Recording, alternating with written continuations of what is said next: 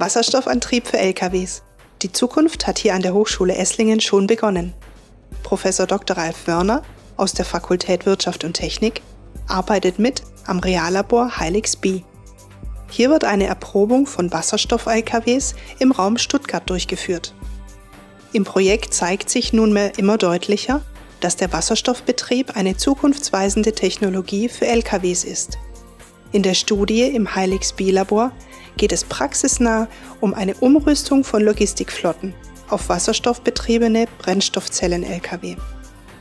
In welchen Dimensionen könnte sich zukünftig die Nachfrage nach grünem Wasserstoff bewegen? Wasserstoff ist einer der vielen Energieträger, die wir in unserer näheren Zukunft zwingend benötigen.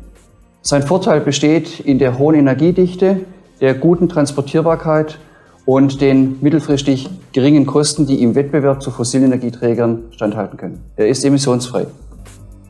Bericht zum Wasserstoff-Brennzellenprojekt HeilixB jetzt im ZDF bei Frontal 21 zu sehen. Den Link findet ihr hier rechts oben. Weitere Infos zu Prof. Dr. Ralf Wörner, dem Projekt HeilixB und unseren zukunftsweisenden Studiengängen findet ihr unten in der Beschreibung wenn euch das Video gefallen hat, schreibt uns einen Kommentar und abonniert unseren Kanal.